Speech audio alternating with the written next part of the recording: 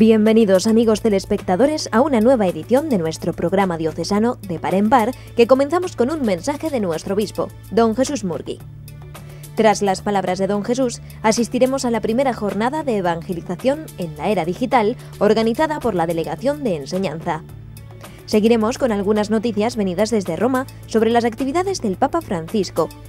Después tendremos un breve comentario al Evangelio del Domingo y finalizaremos con noticias breves de actualidad diocesana.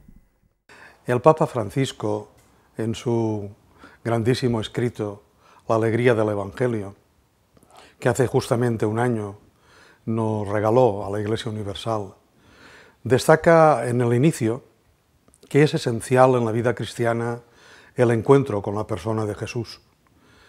Lo digo porque este fin de semana la Iglesia celebra esa solemnidad que es como el broche final, la gran conclusión de todo el año litúrgico, que es la solemnidad de Cristo Rey.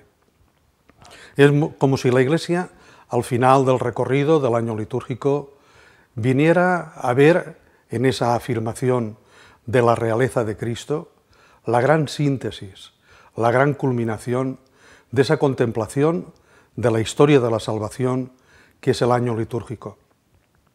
Por tanto, yo quisiera en esta solemnidad animaros a todos los fieles de nuestra querida diócesis que volvamos la mirada al Señor, que realmente Cristo Jesús sea el centro de nuestra vida, el centro de nuestra actividad pastoral, el centro de la vida, el interés evangelizador de nuestras comunidades.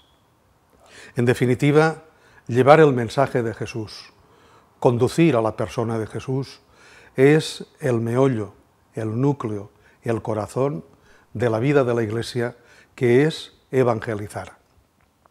En esta solemnidad de Cristo Rey, os animo, por tanto, a volver la mirada al Señor, a que nos planteemos cada uno si realmente Cristo reina, es Señor de nuestras vidas, si su palabra es la que orienta nuestro caminar si la comunión con Él es lo que centra la tarea, la vida, la actividad de nuestras catequesis, de nuestra acción caritativa, de nuestra pastoral a todos los niveles, con jóvenes, con familias, con enfermos, con todas las realidades que tratamos de servir.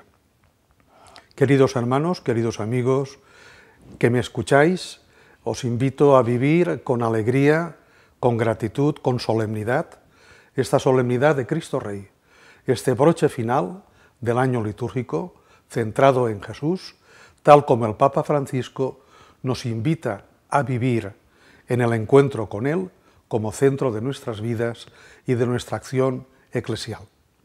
Feliz semana. ¿Qué tal amigos? De par en par se hace presente una semana más en vuestros hogares gracias a las televisiones locales y comarcales de nuestra diócesis un saludo muy cariñoso para todos. Que la tecnología ha cambiado completamente nuestras vidas es algo evidente y sobre todo los más jóvenes usan una serie de herramientas que han revolucionado la forma de comunicarse entre ellos. Así pues, desde la Delegación de Enseñanza de nuestra diócesis se plantea la necesidad de transmitir nuestra fe a través de estos medios. ¿Podría haber, se preguntan, una pastoral digital? Pues nos hemos ido hasta el campus de la Universidad de Alicante para ver en qué queda todo esto. Nos encontramos en el campus de la Universidad de Alicante, en concreto en el Salón Germán Bernácer. Se va a celebrar la primera jornada de evangelización en la era digital. Organizan este acto la Delegación de Laicos y los Secretariados de Enseñanza e Infancia y Juventud de nuestra diócesis. Patrocinan esta actividad la Cátedra Arzobispo Loaces de la Universidad de Alicante y la editorial Edelvives. ¿Cómo surgen estas jornadas? Bueno, pues la experiencia que tuvimos el año pasado en el Congreso y Misión desde la Delegación de Educación, pues nos llevó un poco a, pensar en que este tema es importante para nuestra diócesis, la evangelización en la era digital con los medios de Internet y las redes sociales. Y bueno, lo propusimos mediante la Delegación de Juventud y la Delegación de Laicos y surgió esta propuesta que, que bueno, de momento está siendo maravillosa. El buen humor, por una parte, y el uso de las nuevas tecnologías, por otra, se aprecian en el más de un centenar de personas que han acudido para participar en esta jornada. Luis Aznar, delegado de enseñanza, abre esta jornada con unas breves palabras de saludo a todos los asistentes. Después se dedica un espacio para hacer juntos un tiempo de oración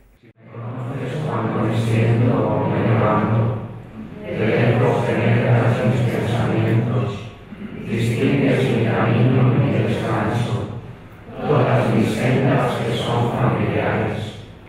No te la palabra a mi lengua, y ya, Señor, de las sabes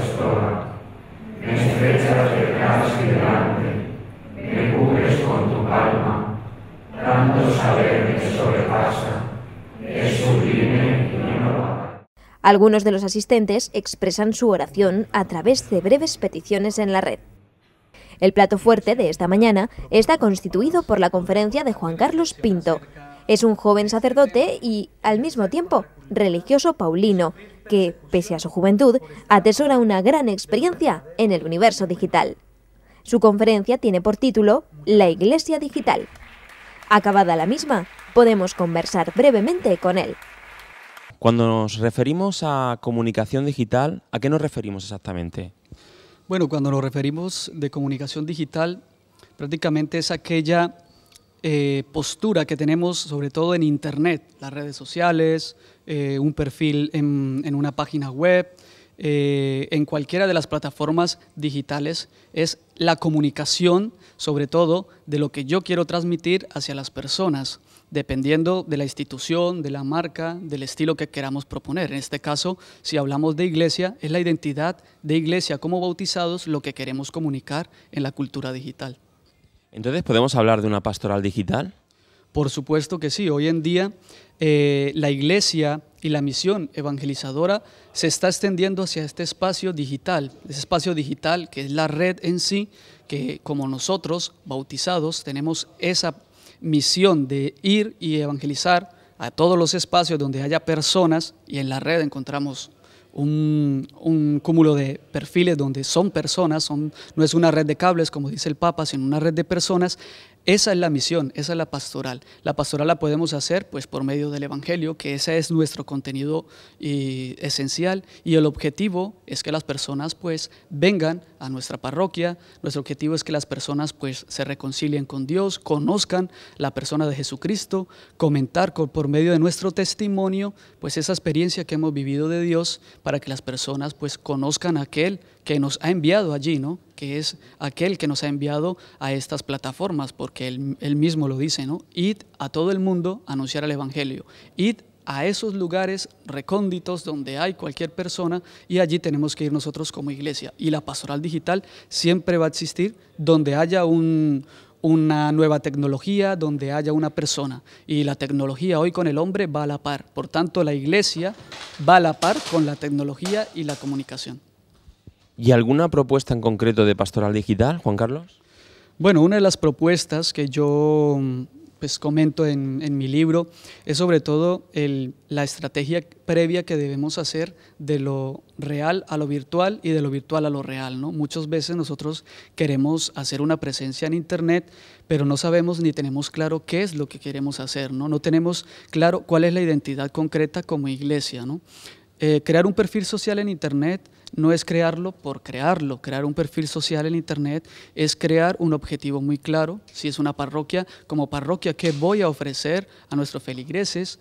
Eh, si es una red social, ¿qué voy a compartir? Si voy a compartir pues eh, las fiestas patronales, si voy a compartir un momento de encuentro, si voy a compartir ¿Qué es lo que tengo que hacer previamente antes de ir a lo virtual? Esa es una de las estrategias que yo planteo prácticamente porque muchas veces trabajamos todos por, separado, ¿no? Y necesitamos trabajar todos en equipo. Trabajando todos en equipo, eh, generando una identidad eh, digital, podemos dar ya el paso a lo virtual. Estando ya en lo virtual, pues tenemos que eh, saber, como decía, eh, si vamos a colocar el Evangelio, con cuánta frecuencia vamos a colocarlo, qué vamos a comunicar y cómo lo estamos comunicando. Si dejamos de comunicar, la gente no nos va, no nos va a seguir. Entonces, si hacemos un perfil en Internet como iglesia o como bautizados o como comunidad eclesial, es para estar presente continuamente. No vale la pena tener un perfil social y que el perfil social quede muerto, porque la gente no va a visitarlo. Entonces, esa no es la dinámica de la comunicación. La dinámica de la comunicación constantemente es compartir. Ya teniendo esa presencia en lo virtual, es volver a lo real, porque no todo se tiene que quedar en lo virtual. Tenemos que traspasar esa frontera, ya decía el Papa. Eh, esta, esta red debe llevar a la experiencia de fe, pero la experiencia de fe se encuentra en los sacramentos, se encuentra en la Eucaristía. En Internet no podemos tener esa experiencia viva. Por eso tenemos que, si tenemos un perfil, si hemos atraído a un grupo de personas, intentar como iglesia, como sacerdote, como catequista o pastoralista, llevarlo al contacto con los sacramentos. Esa es una de las propuestas que yo tengo, entre muchas que podéis encontrar en mi libro Iglesia Digital. Tras la ponencia de Juan Carlos Pinto y un breve descanso posterior, se presentan tres casos prácticos de cómo se puede estar en este universo virtual con el fin de evangelizar. Son tres experiencias en las que cada una persigue una finalidad diferente, pero con el común denominador de estar en la red con el fin de hacer presente allí el mensaje de Jesús. En primer lugar, interviene Sofía Altimari, subdirectora de Arguments, una página web en la que se pueden encontrar multitud de recursos pastorales elaborados sobre todo por jóvenes. Arguments es un portal de catequesis y nos dedicamos a hacer recursos para dar catequesis. Entonces buscamos que esos recursos tengan muy buena calidad, que estén en Internet y que sean gratis. Después de Sofía, es el momento de Santiago Casanova, miembro de iMisión, que está presente en las redes sociales con el fin de dialogar con todas las personas que se presten a ello y con el objetivo de proponer también, en este ámbito, el mensaje de Jesús. Pues Misión es una comunidad de personas, de creyentes que en un momento dado han encontrado que en la red había que evangelizar también y allí nos hemos lanzado a formar, a acompañar y todos juntos pues intentar llevar la buena noticia a este nuevo continente. Y en esta mesa redonda interviene en tercer lugar Inmaculada Álvarez, periodista de información religiosa, para explicar qué es Aleteya, un portal de información católica. Aleteya es eh, una red de información católica mundial que trabaja en seis idiomas y lo que quiere es eh, reunir los mejores contenidos católicos en la red para tenerlos en, en un sitio al alcance de todo el mundo. Básicamente esto es Aleteya. Ya al final de la mañana hay un tiempo para que Raúl López, consultor de marketing online y redes sociales, explique cómo utilizar algunas de las herramientas que las propias redes nos ofrecen. ¿Qué te ha movido a venir? Hola, buenos días. Bueno, yo soy profesora de, de un colegio diocesano de informática y bueno, siempre aprendemos mucho en estas jornadas. Eh, me ha movido a venir pues la responsabilidad que tengo como profesora pero sobre todo porque estoy enganchada a lo del Facebook, al Twitter y porque hoy en día sin esto no, no podemos vivir. Me vino la información por el obispo y me pareció muy interesante y me apunté enseguida. Pues no sé, que esto me gusta. ¿Qué enseñanza sacarías hoy de este día? ¿Algo que te ha llamado la atención? Pues el saber que hay muchos recursos de católicos y, y muchos buscadores, muchas, nos han dado varias pautas a seguir que son muy importantes. Eh, hombre, he aprendido bastante, ya sabía, ya estamos metidos en esto, pero me ha gustado mucho escuchar a estos grupos de Aleteya y Arguments y tal, verlos de cara, porque como los sigues, me ha gustado oírlos hablar, cómo se ha formado, lo que están haciendo, y al mismo tiempo que hablaban estábamos ahí metidos buscándolos, y vamos, ha sido muy agradable. Y bueno, ver la frescura, la juventud y lo que espero es que mucha gente joven muy bien formada sea de antemano cristiana, para que sean buenos informáticos, pero primero muy buenos cristianos. Los ponentes han estado muy bien, eh, se ha podido hacer muchas preguntas y eh, bueno, al final Raúl no ha podido hacerlo todo, pero bueno, como vamos a tener toda la información en, en Educo por ti y en muchas páginas que van a ponerlo, o sea que aunque no hayamos tomado nota podemos conseguir toda la información pues a administrar, por ejemplo, las redes, también eh, dónde conseguir contenido, como es Aleteia, como es Arguments y Mission, y no sé, que a mí me ha parecido fantástico y todavía no lo he digerido, no lo he digerido o sea que... Una sencilla oración. Clausura esta primera jornada de evangelización en la era digital de nuestra diócesis.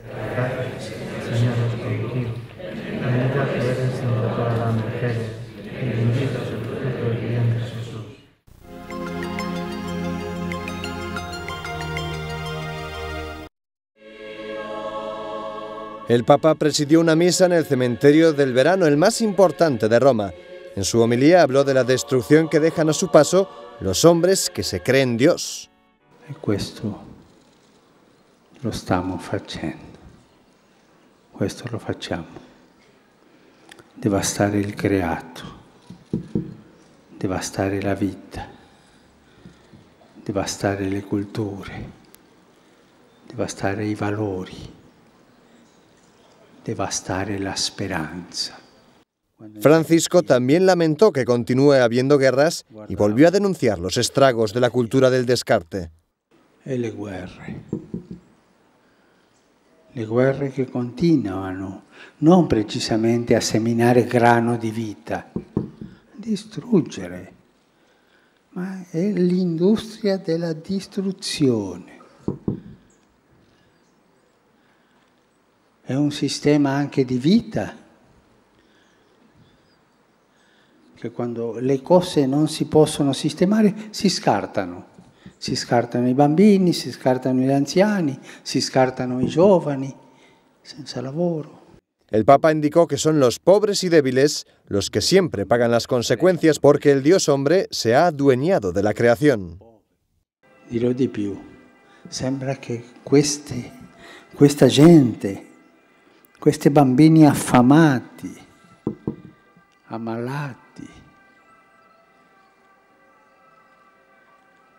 sembra che non contino, che siano di un'altra specie, non siano umani.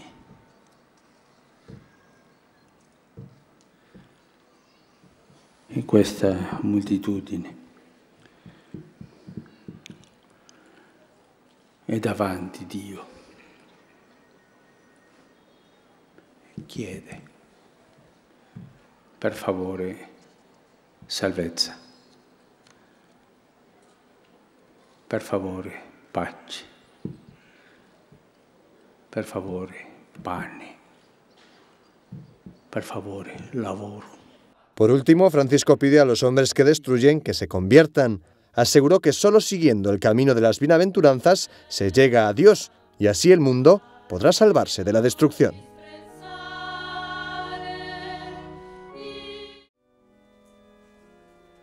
Según Francisco, existen dos caminos, el de quienes viven apegados a la letra de la ley y el de quienes aman la justicia y cumplen la norma con amor.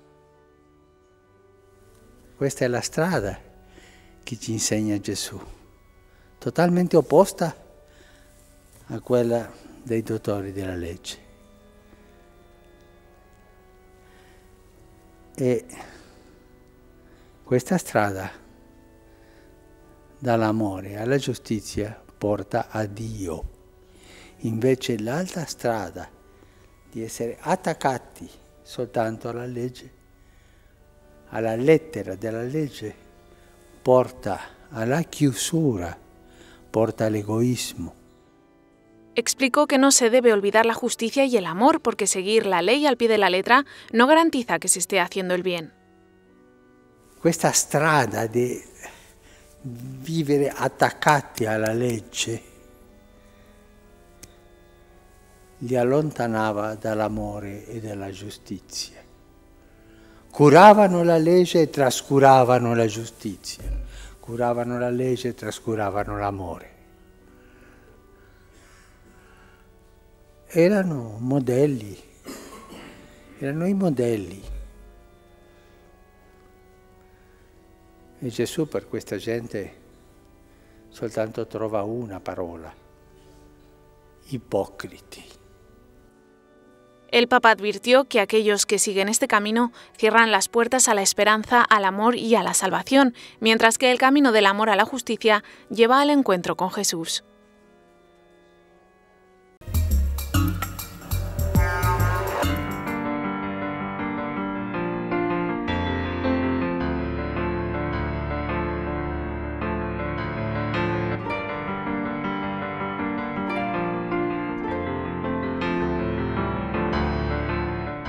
Estamos en el domingo de Cristo Rey y en este domingo Jesús se presenta como el Rey en dos vertientes, como Rey Pastor, sobre todo en la primera lectura, y como Rey Juez en el Evangelio. Como Rey Pastor, Jesús nos pide que nos convirtamos a Él, que le acojamos como el que nos guía en nuestra vida para encontrar el camino de la felicidad. Y como Rey Juez, nos, nos presenta el evangelista Mateo a Jesús en el juicio final y nos dice cuál va a ser el criterio que va a seguir ese juez, que es el criterio del amor al prójimo. Pues tengamos en cuenta esas dos vertientes de Jesús como Rey, que es lo que celebramos hoy. Agradecemos a Santiago este comentario sobre el Evangelio del domingo de Cristo Rey y llegamos así al final de nuestro programa de hoy, que despedimos con un breve reportaje sobre el día que los cristianos dedicamos a los fieles difuntos. Muchas gracias a todos por vuestro tiempo y por vuestra atención. Ya sabéis que si Dios quiere nos volveremos a ver dentro de siete días. Hasta entonces. El día 2 de noviembre, que este año ha sido domingo, los cristianos celebramos una conmemoración especial dedicada a los fieles difuntos. Es día de visita a los cementerios para recordar a nuestros seres queridos. Muchos adornan ese día sus tumbas con flores y algunos les dedican una breve oración. También don Jesús, nuestro obispo, se sumó a esta intención de la Iglesia. En la mañana de este día visitó el cementerio de Alicante. En un primer momento visitó la tumba de Pedro Herrero, el famoso médico alicantino fallecido en 1978 y cuya causa de canonización se inició en 1997. Parece que no tardaremos mucho en verle canonizado. Así como han compartido ya la muerte de Jesucristo, compartan también con él la gloria de la resurrección. A las 11 de la mañana, el obispo celebró la Santa Misa en la capilla de este cementerio alicantino. Le acompañaban en el altar el vicario general de la diócesis, José Luis Úbeda, y su secretario particular, Jesús Rosillo. Un pequeño grupo de fieles laicos participó en esta Eucaristía, que ese día la Iglesia celebra en sufragio de todos los fieles difuntos.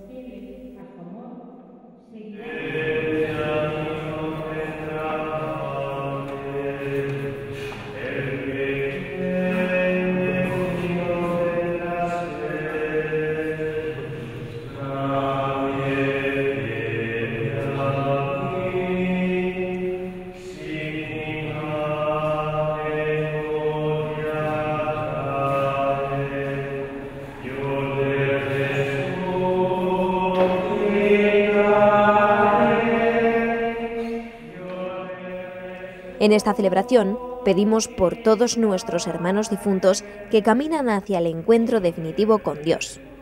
Ellos necesitan de nuestra oración que les aporta consuelo y es una ayuda verdadera. Nuestro recuerdo y nuestra petición son signos del amor que les tenemos.